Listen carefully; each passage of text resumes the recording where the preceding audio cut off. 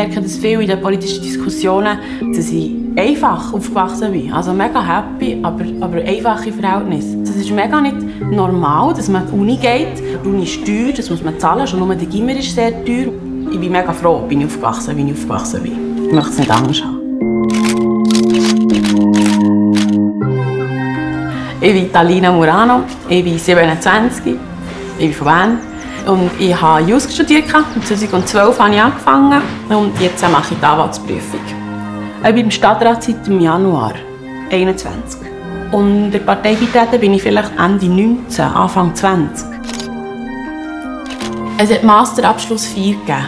Und das war noch speziell für mich, ähm, weil meine Eltern zuerst mal so an eine, an Feier kamen. Bei mir kommen immer alle, wenn es etwas gibt. Und dann kommen alle Tanten und Großmütter und Zeug und Sachen. Es war eine riesige Sache, bis ich dann das Diplom hatte.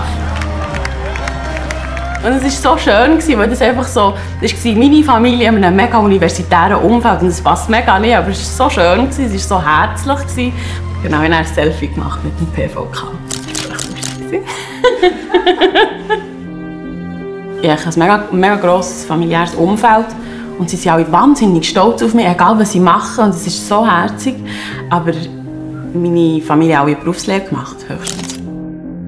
Ich bin unglücklich, wenn ich arbeiten kann wenn ich meine Sachen machen kann, wenn ich, aber während der Semesterferien, wenn ich nicht mega viel zu tun habe, kann, es so langweilig, ich nicht gewusst, was mit meiner Zeit machen.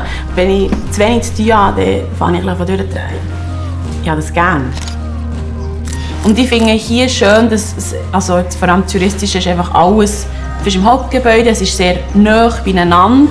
Und man kennt sich eben zum Teil ein bisschen. Man kennt ähm, die Frauen, die in Mensa arbeiten. Und das war so ein eine Art familiäres Umfeld in doch einer relativ grossen Uni. Es hat so eine gewisse Gemütlichkeit, die, die angenehm ist, die ich gerne habe. So, ja, ich habe geschlossen.